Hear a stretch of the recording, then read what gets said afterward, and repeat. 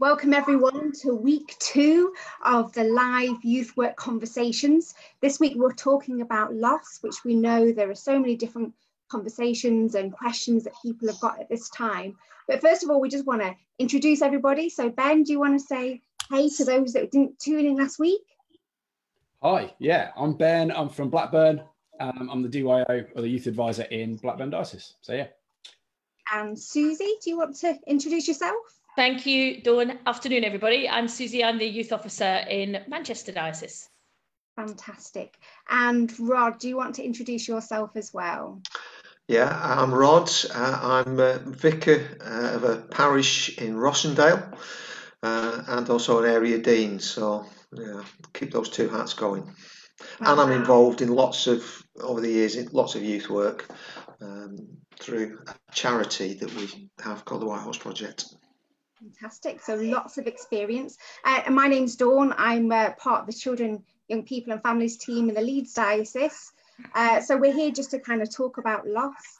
So we're going to start with a, a bit of a, a, silly question first of all before we pray and, and start things. So what is the most annoying thing that you've lost? hmm. Anyone want to start on that one? Okay, so this is a quick one. Uh, I went shopping. It's like uh, a big shop before we went into lockdown when shopping was probably a little bit uh, less stressful than it is at the moment. And um, it was one of those occasions when you still had half a bottle of shampoo left, but all of your conditioner had gone. So I went for a buy one, get one free in the chemist aisle and uh, bought a new shampoo and conditioner. Unpacking in the kitchen, putting everything away, and literally could not find it. I knew I'd bought it, knew I put it in my bag. And for nearly three hours, I looked for it until a little bit later in the afternoon. I had a cup of tea and opened the fridge door. And lo and behold, I had stacked it alongside the milk in the door of the fridge. There you go. Just be careful as you unpack your shopping, would be my tip of the day. Love that. At least you didn't try and put it in your tea because that yeah. would be slightly annoying. yeah. Or wash my hair with mayonnaise else lost something that's been really annoying? Yeah, yeah, yeah. Many, many, many moons ago, when I was a student, um, I lost my car. Oh. uh, yeah, me and a, a, couple of mates, uh, we were at uni in Leeds, um, and we. Ben's going, yeah. uh, yeah, we were at uni in Leeds, and uh, we went to York for the day got plenty of time as students, you know. Uh, so we went to York for the day, parked the car, went off, enjoyed the, the sights of York, and, and then we were looking for the car. And we couldn't find the car anywhere. And I'm, I'm panicking. Uh, um, so goes up to a policeman and, and, and says, uh, "Can you help me? Um, you know, I've lost my car. Um, it's not where it's not where it should be." She said, where, where did you leave it? I said, well, I left it in such and such a car park. He said, that car park's on the other side of the river. Oh. I love it. At least you kind of had an idea where you'd parked it. Brilliant. What about you, Ben? Have you ever lost anything annoying? Do you know what? It's during lockdown. Um, last week, last week is probably about the time, probably the same day that we did this last week, um, last Tuesday, and my daughter is four, so really classically helpful. Um, and our TV, don't judge me as a parent, but my TV had been running that long that it decided to shut itself down. Um, and um, yeah, and so and yeah, she uh, she goes, Daddy, the numbers are on the TV as it counts down to turning off. Um, rushes in and dra- grabs my hand, drags me through, and I'm searching for about 25 minutes, only for her to then stand up after I've said, "Come on, come and help, come and help," she didn't do that. Stands up eventually, and it's tucked just behind her down the back of the cushion of the sofa, where she then walked back in and sat down. So um, I felt a bit of a melon, but you know that, yeah, it was quite annoying for 25 minutes of my life. So. Mine is a, a very classic. I've lost my car keys. So we were, we were packing the tent away a few years ago, uh, in a rainy day in Wales, absolutely pouring it down as it often does in Wales. Uh, and we got ready to kind of leave the campsite and we had lost the keys and i'm like oh my goodness searching the whole car. I don't know if you've ever been camping with three kids, but you have a lot of stuff in your car. In the end, we decided to unpack the tent and actually go searching through the tent. We got so soaking wet. I said to my son, let's just just give it a break. Let's go and change into our, our clean, dry clothes. As I took my jacket off, the keys were in my jumper. Brilliant. really awful. Really, really not very good. But there are so many times that we we lose things, and although often it can be funny, we're here obviously talk about the serious side of, of loss and, and COVID-19 and what that's brought as well. So just before we start the conversation, we'll just um, we'll just um, have a, a time of prayer. So Lord, thank you for this time in this conversation that we'll have. Thank you for those online watching, and thank you for all the wisdom that, uh, that, that we all have. Lord, we just ask that you'll speak to us during this time. Amen. Amen. So, Susie, we'll hand over to you. Thank you, Dawn. Thanks very much. It's good to have you with us, Rod, and uh, great to have folks tuning in on the Facebook page and engaging in the conversation. The way that we're going to take it this afternoon is to look at four questions around loss and grief and uh, our current situation. Uh, we shouldn't avoid talking about death, I don't think, with young people at all in the best of circumstances. So it's really important for us to take some time to think about how uh, we might be dealing with this situation as it stands in terms of loss and look at how it impacts our local churches and our communities. We're going to then steer into thinking a bit more about how do we accompany young people through um, loss and grief and mourning uh, and then move on to discuss a little bit more of other types of loss young people might be experiencing at this time, like rites of passage and those who finish school earlier and not taking their exams. There's a multiple amount of issues for young people at the moment where there's loss and a sense of grief. And then we're going to finish off by thinking a bit about um, what are the resources available to us to help support us. We've got a whole plethora of uh, helpful links and uh, books and other helpful resources uh, that will go up at the end of the conversation, but also any practical ideas of how uh, we might be able to support the young people at the moment. So I'm going to start, and uh, the first question that we've got, and I want to kind of ask Rod about this, being in the real kind of heart of a parish up in the north of our diocese, uh, where you've been for how many years is it now? Uh, 17, yes, 17. So you're yeah. known, and you make it your business to to get yeah. to know people in that community. Has certainly been my experience of you, Rodden.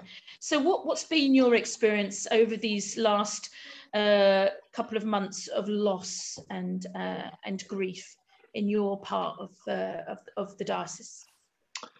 Well, I think I think one of the things that I'd, I'd say first of all that actually we have been probably sheltered from the worst impact of COVID nineteen. Um, maybe it's because we're a bit we are a bit more rural, mm. so we've you know we we prepared ourselves for you know almost a tidal wave of uh, bereavement coming our way, and we we've not had that.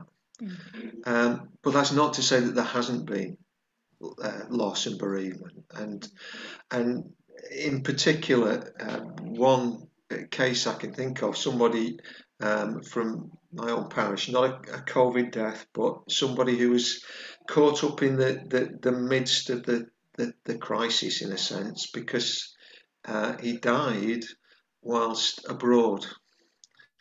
And the whole struggle of um, bringing his body home and the difficulties then and the, the, the lengthening of the process uh, over which people are having to just simply make preparations for that that time of saying farewell.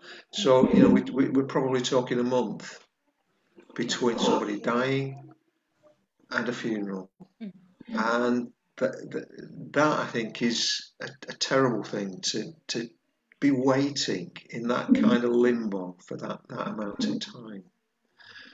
Um, so that that's probably the the most impactful way that uh, it, it, it's hit home to, to me uh, mm-hmm. in terms of bereavement. Uh, colleagues around here they've been they have been conducting COVID funerals. Um, and their experience has been hard. They, they they've not felt that they've been able to minister as they would to families. Uh, uh you know, because you can't get alongside them in the same way. Mm. Um, for those those people who might have been known to you, who it would have been natural to, to come alongside and just give them a, a hug, you can't do that. So they're they're feeling a sense of loss, uh, and you're in ministry, you're feeling that you're not able to do what you've been called to do. Mm.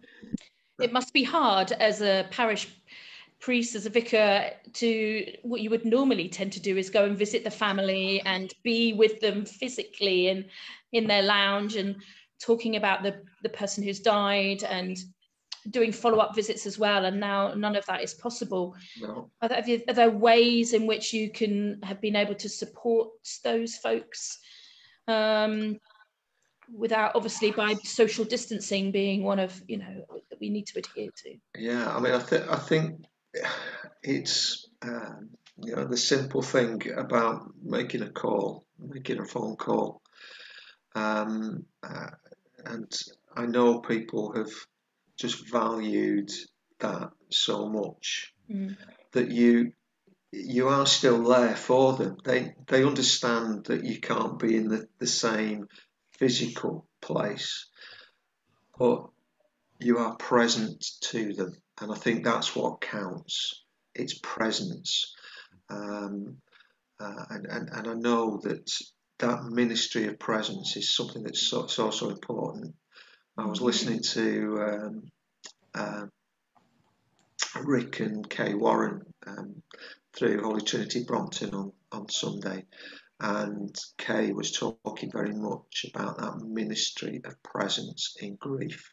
Mm-hmm. And when you do it, and when you're having to do that at a distance, you think well, maybe it's not the case, but uh, I, I think we have to to to imagine more in these yeah. circumstances, and it's it's stretching at all of our imaginations. Yeah, I think those are really powerful things you've said, Rod, about presence. And excuse me, we associate presence with physicality, but actually by ringing people up or sending a card and them knowing that you're still there for them is is really really critical. And that sense of uh, being imaginative in how we support people in their in their loss and their grief um, that's hugely inspiring. Thank you so much um, i wonder now just thinking a bit about young people and um, last year i did a bit of reading around loss and death and for young people particularly and some really interesting reports out there and some good books and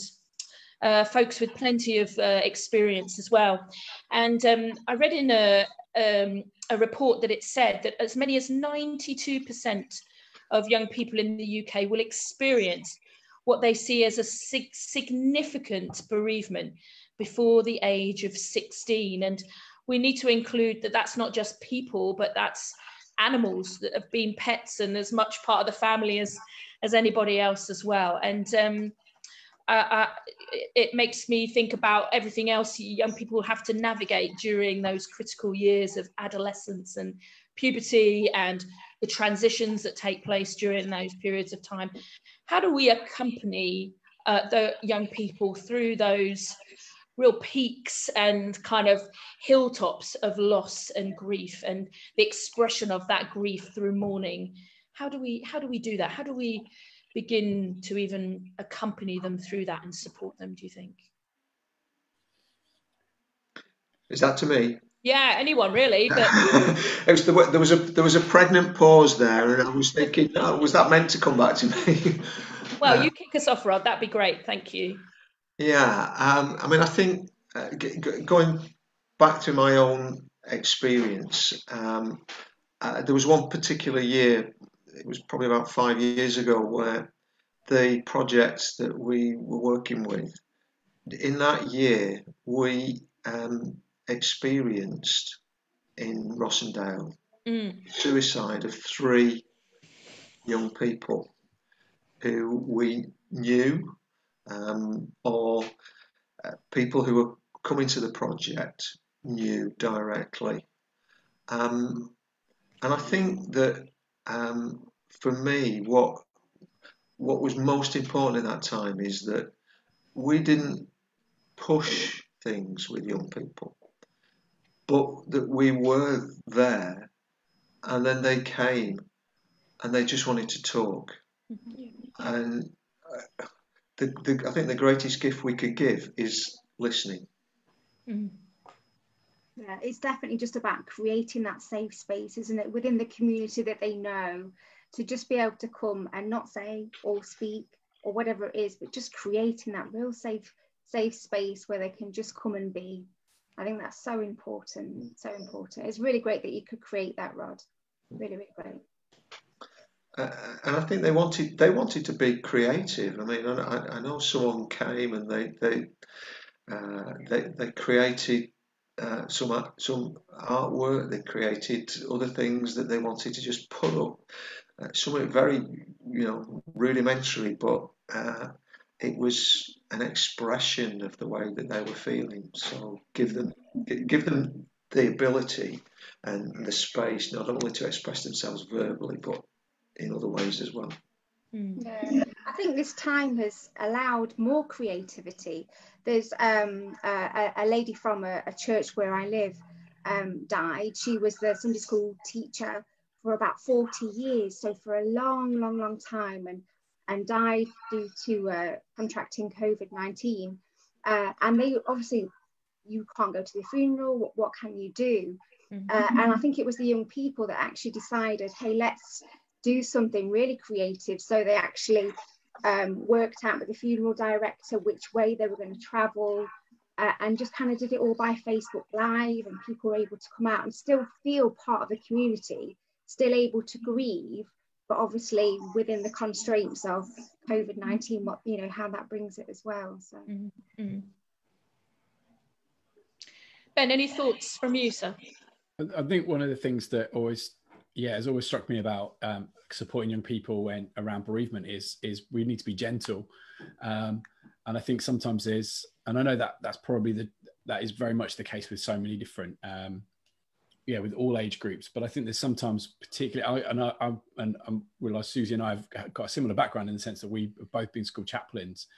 And I think sometimes in a school setting, particularly there, mm. and this hmm. is not an insult on our, our teaching colleagues, um, far from it, but actually sometimes because life carries on in school, there's a kind of, yeah, mm. just kind of, you know, just bottle it and go. And I think actually sometimes there's that creating that space is really important, but how we then interact with them has got to be really gentle and I think, and, and the other thing alongside that is, is like the assumption that nothing, we can't assume anything. So we can't, we can't project the relationship we had with a parent or the projection of a relationship we had with a youth leader or a children's leader, whoever the lost, the, the person who's died is. Mm. And we can't project that onto them because all relationships are different. And I think that's, that's really key. So the assumption that, you know, this is going to be one, a massive hole or, or okay, that person for me, I'd probably cope with that differently actually doesn't mean that's not massive for for a young person. And so therefore, I think, yeah, I think that essence of kind of being present, but maybe not necessarily kind of right in your face proximity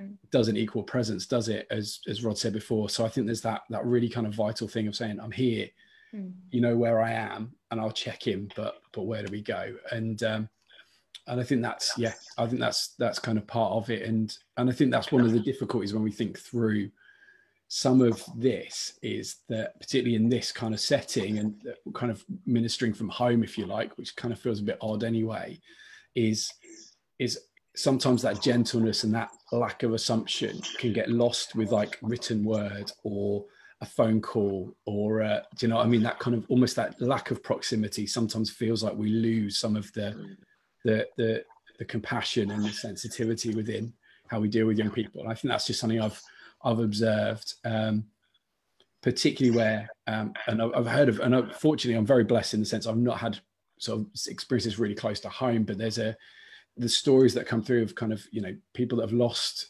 family members through COVID nineteen, and then the family's choice that because they had COVID nineteen, they're not sure if they've got it, that they're not going to hold a funeral at all. In fact, they might accompany the the hearse to a to to a um, a crematorium, but actually no one goes in, and there's there's not massive amounts kind of goes. There's not not like a family, even a family point. um, and I think that's so confusing for for young people. Um, and how do we start? How do we allow kind of how do we get alongside them without that proximity? And and I think that's kind of a huge huge thing that we that we, yeah is part of that processing of what we're talking about today, isn't it? It's like how do we get alongside them? And yeah, you know, it's it's that it's that ministering from a distance, like so. It is. I think you're absolutely right. I think um, I think it's really interesting that uh, about the creation of safe space mm. and how tricky that is to do at the moment in our virtual world. Um, and even though you know we know others are watching this, and uh, we know that other people use Zooms for kind of wider meetings, how safe can a visual conversation online be? Uh, is a phone call a bit safer in terms of nobody else kind of interfering with the conversation but how is uh, how do we go about creating a safe space in this current situation where young people are grieving in a household where others are grieving and maybe finding it really hard to talk about how they feel uh, because they see all around them other people who are uh, really struggling with loss as well?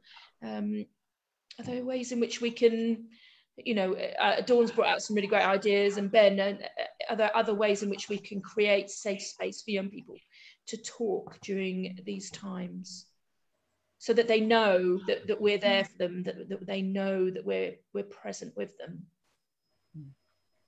Any thoughts on that, Rod? I th- well, I think that that one of the things that um, we've we've been finding in connecting with young people is that um, there's a split between those who want to be seen and those who don't want to be seen mm. at all.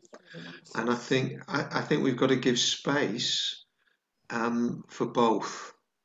Uh, and I think it's true of adults as well. Actually, there are some who who uh, you know are almost longing to get on Zoom like this and be be seen, and there are those who are off camera but they're present. Mm.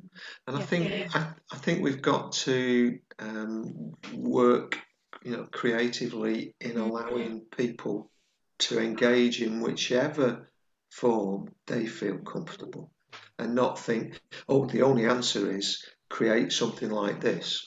Yeah, that's it doesn't, doesn't suit everybody. Yeah, that's so wise, Rod. Because there will be people who will want to talk, and there'll be people who will who need to just process it for themselves and withdraw and that's that's really really helpful one of the things that people are chatting about on the chat at the moment and i think this is a really interesting question uh, in terms of thinking about how we accompany young people through loss and bereavement um, I mean, we said earlier on that it's not something that we maybe talk enough to young people about. Um, but uh, we don't normally kind of have regular conversations about what it means what does death mean what what is where is hope in death and what's our theological perspective um, you know in in loss and grief. But do you think that there is a difference between the bereavements that we're experiencing now because of this pandemic to bereavements in whatever normal time means anymore? Do you think there is a difference um, in those different types of senses of loss, or are they much the same? Do you think? I wonder if there's an, an added level level of confusion. There's always a level of questioning, isn't there, around bereavement, particularly if it's someone young or someone younger, mm. and and I wonder whether this gives another level of confusion to it. Mm. Um, in the sense of kind of actually trying to process what's going on in the world more widely as well as what's going on in that mm. yeah in your kind of sphere of uh, of impact and and yeah, so I wonder if there is a slight difference. I wonder for others whether or not there's what we'll see is that actually there's that lack of proximity means that we we see a delay in in that bereavement. Mm. Um, I particularly consider kind of going back to schools and what we see over those and, and over the next couple of months and maybe even if schools don't go some secondary school years don't go back till the after the summer is just seeing those young people suddenly land with a group of friends who they've not seen and that mm-hmm.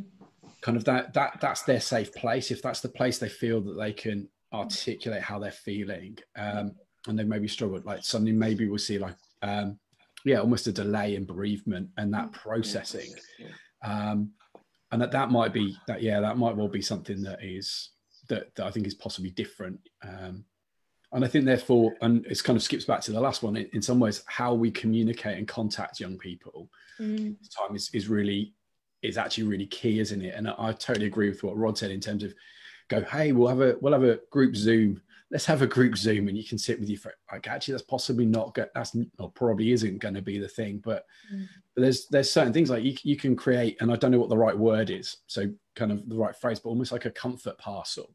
That's something that says we love you, we care for you, we're here.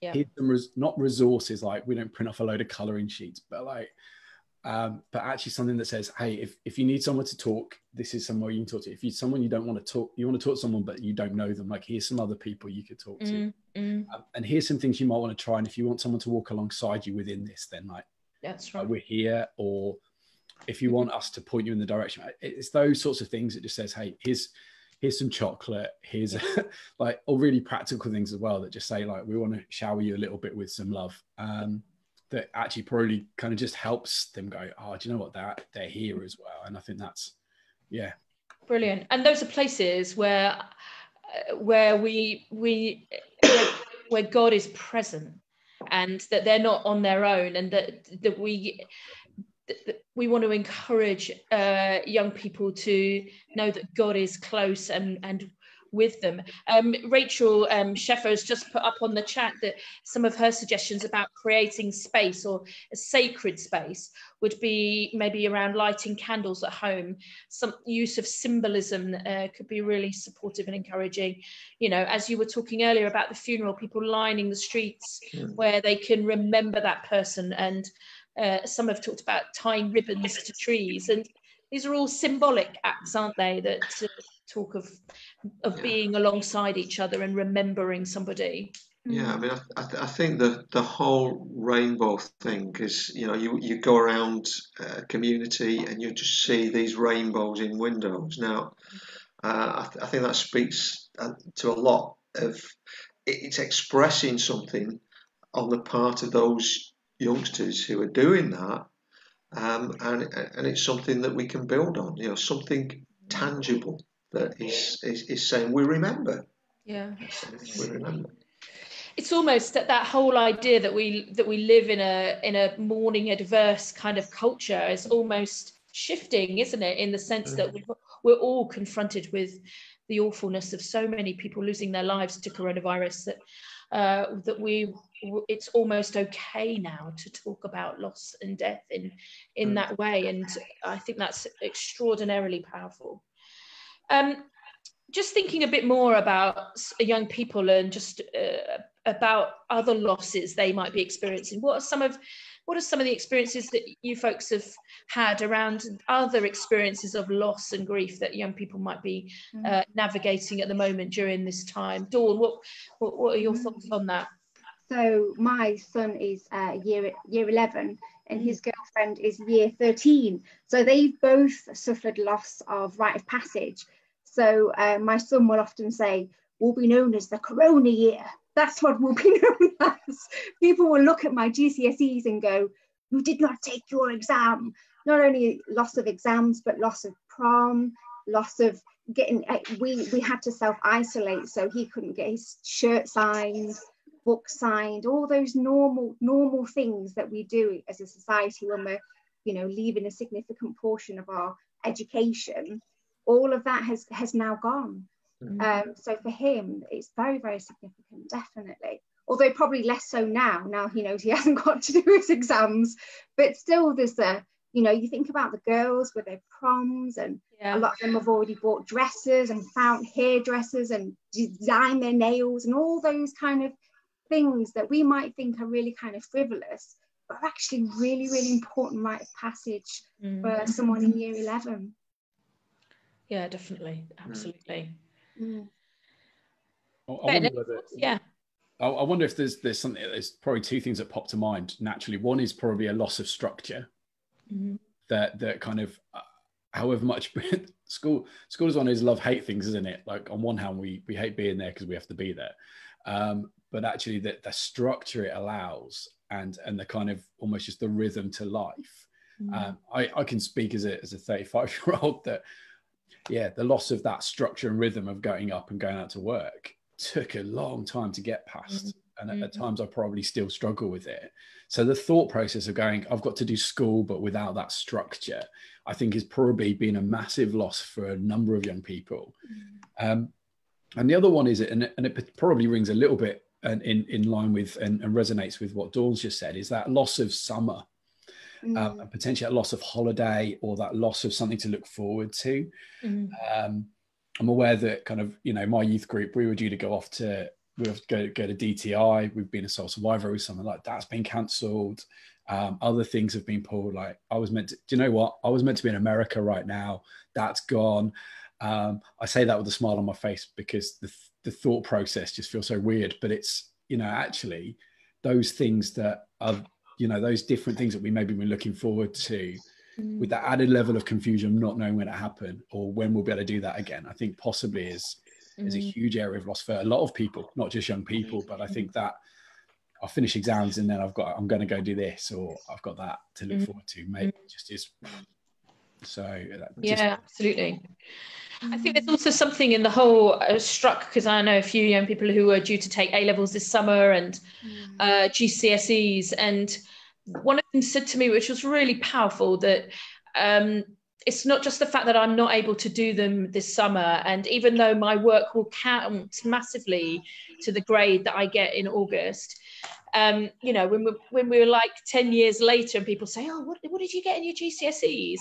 There may not be the same kind of level of, oh, this is my accomplishment, even though it is their accomplishment at the end of the day, that they never got to sit their exams. Now, not everyone is a fan of exams, I appreciate that, but for some young people, they flourish under that pressure and to not have the opportunity to sit them, I think is uh, for one of one of the young people that I was talking to is a particular struggle. But but also, what does uh, does that impact their identity in any way? Does that you know do they have that sense of of loss around not having been able to see through their academia to sit in a hall with you know 250 other young people uh, mm. uh, writing their GCSE biology paper? And and that matters to the young people that I spoke to uh, mm. completely.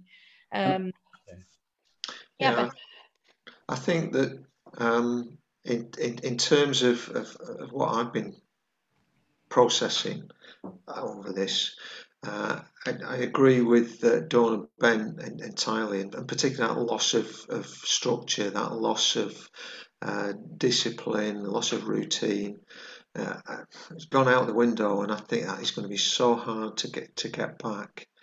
Um, but one one of the things that uh, I I think we we haven't actually got through the experiences of loss that our young people are going to, to, have because you know at the moment it's the exam phase. They haven't got to that uh, this is our period of, of, summer free time phase. So they've not you know they've not lost that yet but they're going to lose that. Yeah. and, and, and then the experience of finding out what your exam results are, it's not going to be the same. You, they're going to get exam results, but they're not exam results. Mm. So the, I think a lot of the losses are still to come. Yeah. Um, and one other thought, uh, you know, I was I was talking with with, with Jill about, about this, and um, she said that for many of the, the young people, particularly who we deal with. This is just another set of losses on top of all the other losses that they've experienced in their lives, mm. whether it be, um, you know, significant relationships of their own mm. um, or um, relationships with uh, uh, parents or step parents or uh, life is, is, is just become so transient yeah. It's so fleeting. Yeah. Here's another set of losses. So that actually we're building up um, for many young people the experience that life is all about loss. Mm. Yeah. So I think I think that's really worrying in the long term. Yeah. Absolutely. We have to remember those families that really aren't coping in this time as well. With the, the, the loss of so many loved ones where family life comes under so much pressure that there's almost loss of that kind of whole parental family structure that you have as well to the point where families are deciding parents are deciding that's it I, I can't do it anymore. We're going to have to separate or divorce so you've not only got a young person dealing with all the school and the lack of structure and the death, but also potentially divorce and separation of parents as well. And that's huge. Mm-hmm. That's massive. Yeah. yeah. And it ties in so much with uh, with mental health and uh, well-being as well. And we're going to look at that in a couple of weeks' time and how we support our young people and their well-being, mental well health and mental well-being during this time. But it it connects into that so much, doesn't it? It feels like uh, uh, almost an avalanche of loss upon them, and mm-hmm. somehow we need to excavate through the snow to to find ways to support them uh, because of who they are, not because of any kind of uh, list to do list that we might find in a resource book, but to understanding their own unique situations and their mm-hmm. own context and what else they're struggling with at the same time is, as you've said, Rod is really key, isn't it? I, I think that um, one of the, one of the things that uh, you know a conversation with uh, one young person that brought to mind is the fact that everything happens suddenly, mm. um, and things that you might have been processing and, and going through, like maybe you were experiencing a difficulty with uh, a friendship, and you you know your, your last words were fairly negative towards one another. Mm. and you've not had the chance to actually put things right because it, it doesn't feel right to, to call or to text or to go on social media or, or, or whatever to sort that out. And so there's a, a almost a period of limbo and, and the damage that that's doing to um, young people's well-being. Yeah, loss of relationship. Yeah. And I think that links with that. Mm. It links with that kind of further thought about kind of exams and things like that. That there's that, and I know it's a weird link, but in some ways there's that lack of closure, that lack of mm. finishing. Mm. There's the ability. to. I, I'm, I have to admit, if I fall out with someone, I want to solve that yeah. quick. But but it's always like I want to see them. Like and and I think it's the same for young people. It's the same for everyone, isn't it? But equally, like with exams, it's like I want to I want to finish that. I want mm. to close that. I want to have done that really well. And actually, in some ways, they they almost mourn the loss of the ability to finish that well. Uh, mm. Uh, and and and not that I'm kind of trying to read comments as I go at all, um, but something just popped up and caught my eye was actually that there's also the loss for the year groups that are going to do exams next year, yeah. mm. which I think is huge. That actually they're going to lose best part of a term of focus on their work, that rhythm, that all those things. Um, and then they have to go into like this big exam year next year, and you kind of go, oh, okay, that's going to be huge as they go into that. And I think there is, yeah, and I think it, as we've discussed all these different kinds of loss, it's yeah, it, it's huge for young people to process. Um, I guess my, I guess if I put my kind of youth worker hat on massively, not that I take it off very often, but but it's actually there's there's such a huge opportunity within all of this as well mm-hmm. um, to help to help them to, to, so to process. And I know that we're talking about how we do that, but there's such an opportunity to be creative, to be positive. Mm-hmm. Uh, and, and I guess as a, as a Christian community that I imagine, or we all are, and, and I imagine a number of the people watching are, is just that ability to speak hope and that transformational love of Jesus into into those situations. Which I'm not saying that's the. Don't get me wrong. I'm not someone that goes, "Hey, we'll just Jesus."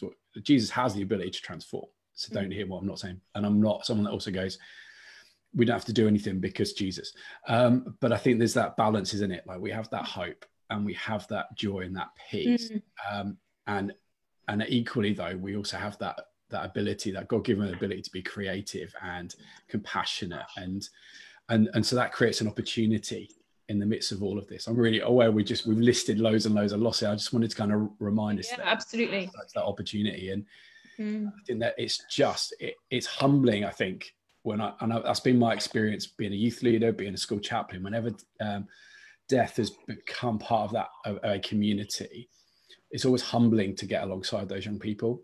Mm. Um, and it always feels like an opportunity just to speak and minister God's love to them, mm-hmm. whether that's directly because of proximity or whether that's just sort of being present and mm-hmm. allowing them to know you're around and and that's just huge and i think that's that's yeah and it's how we do that for the for each young person is going to be massive in this season um, I think you're absolutely right. I think hope is critical, isn't it? It always is, always will be that uh, we're people who, who speak a message of hope that never changes, despite anything and everything that happens in our world. That that hope remains the same in Jesus.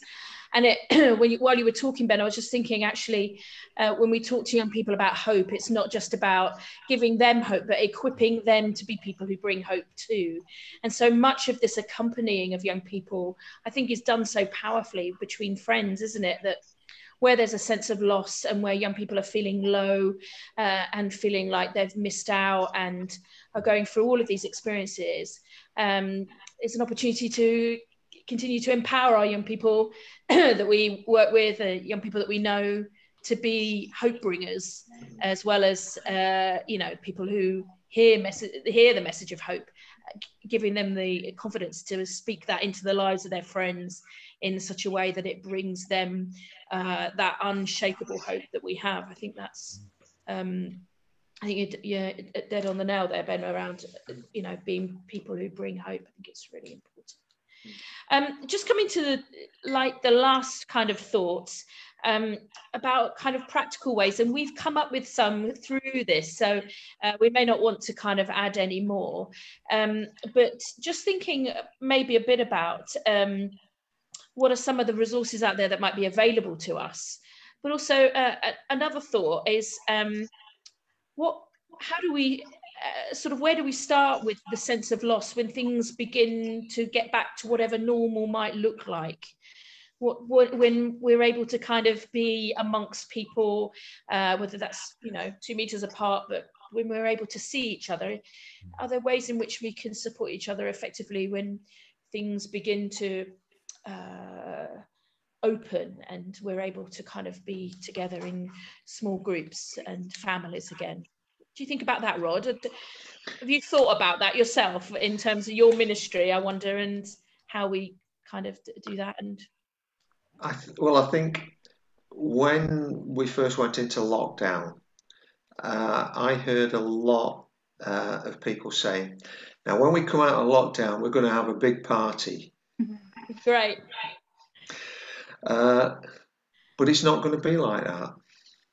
It's it's going to be gradual. It's going to be bits and pieces, uh, and and I think uh, we actually want to be careful about the expectations that we are setting up now for when we do come out of lockdown, mm.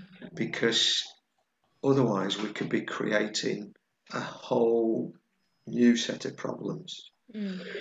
So uh, I think we need to encourage people that it's going to be a gradual process.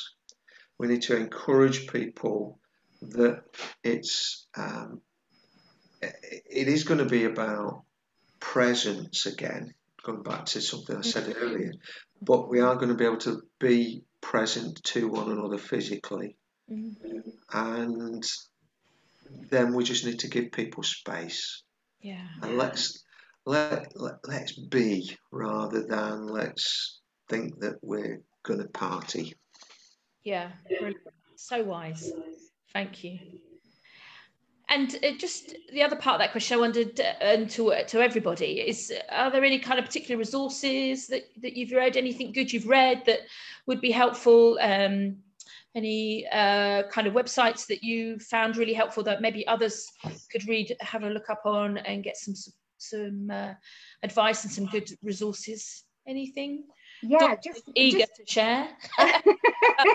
just picking up on what uh, what Ben said, really, I think some organisations have really understood that um, young people are going to experience loss when they go back into their school community, when they are around, finally around their friendship group.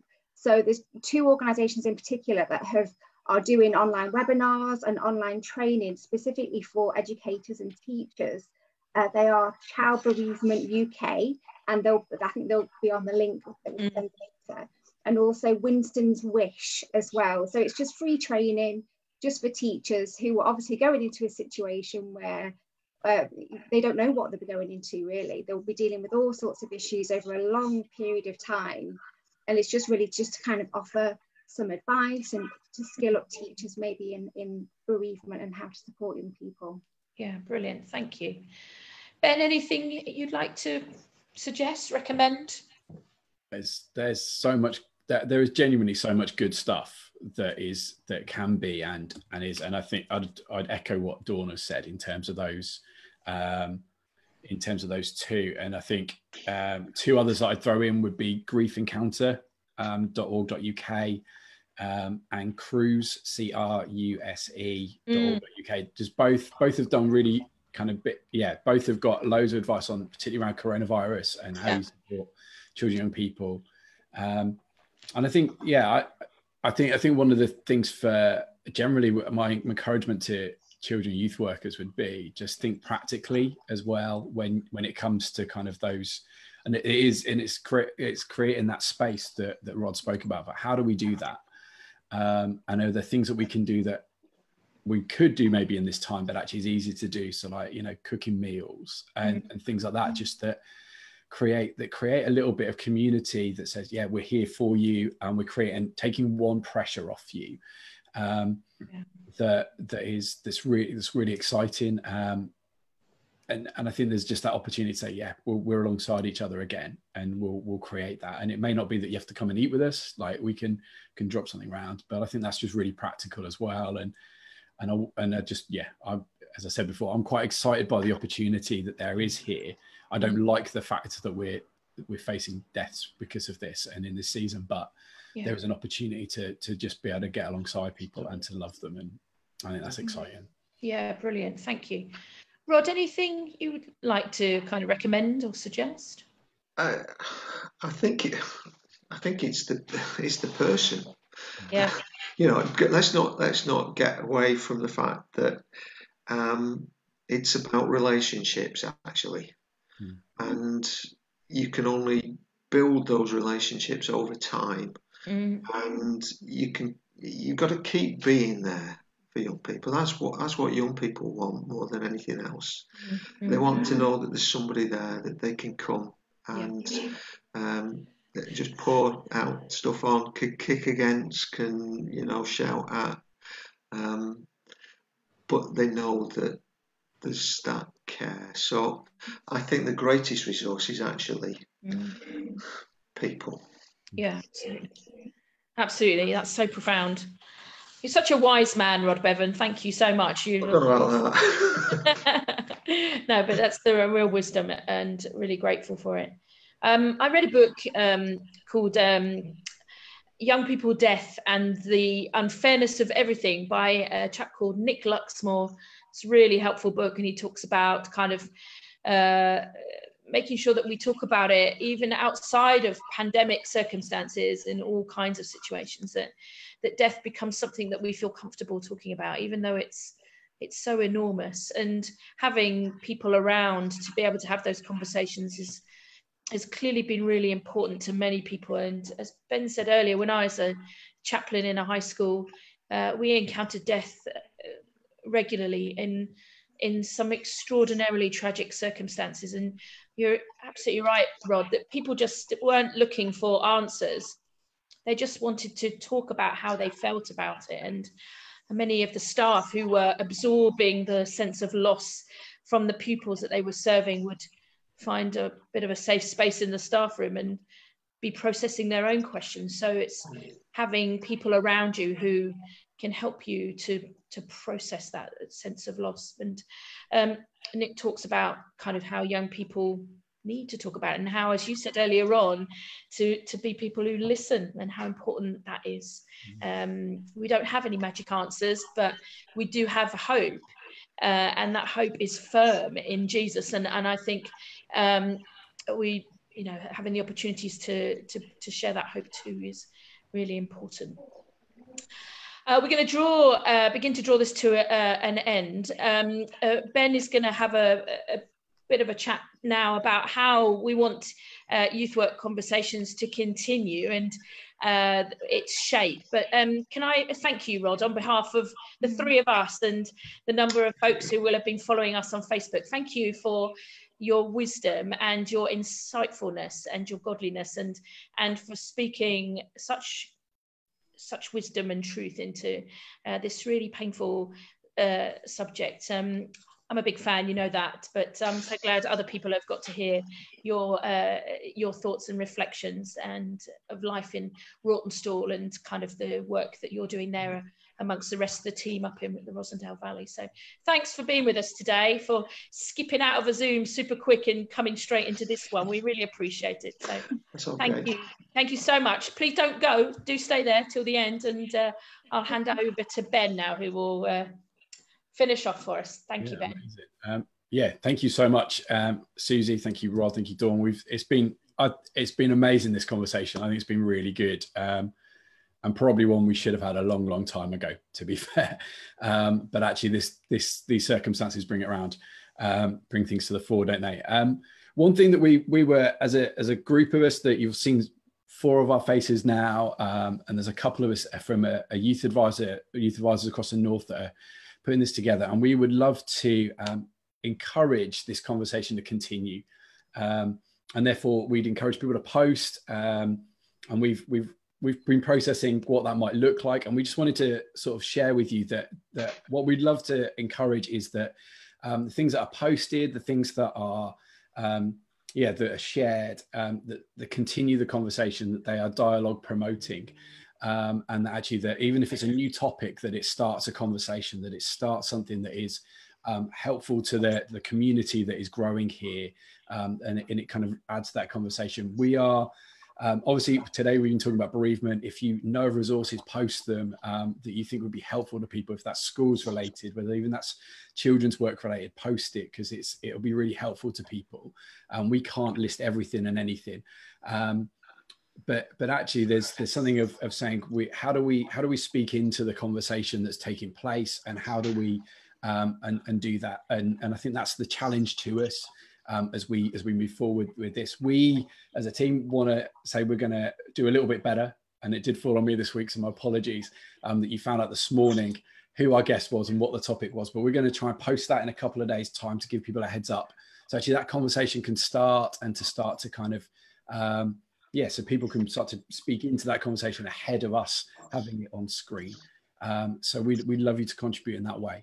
Um, so please don't please don't feel that we're discouraging you from posting. In fact, we'd love you to continue to post and post um, things that, that continue this conversation, that continue the dialogue um, that we've we've created, and hopefully this is a helpful um, and an encouraging space to everyone that gets to be part of it. Um, so yeah, so as we finish, let's pray and we'll yeah, we'll kind of, yeah, hopefully the conversation then carries on. But yeah, let's pray. Father God, I thank you for the opportunity to talk about such a vitally important um, topic, aspect of life um, that we face right now, that young people are facing. And we pray as a, as a youth work fraternity, as a group, as a, as a, as a kind of like-minded people that we, that you would give us um, ideas, you would give us creativity, give us moments of um, just real clarity as to how to speak um, your love, your hope, um, and to get alongside and love young people in in ways that um, we maybe have never thought of before. And God, we pray that you would you would speak to us in those ways that are individual to those young people. That we it isn't a oh is a great idea for a group, but actually God that you allow us to speak to that, those individual young people. That you give us the wisdom and the discernment to know how to support them. And we pray for the young people that are already being impacted by um, by deaths and by just loss of different aspects of life through this time.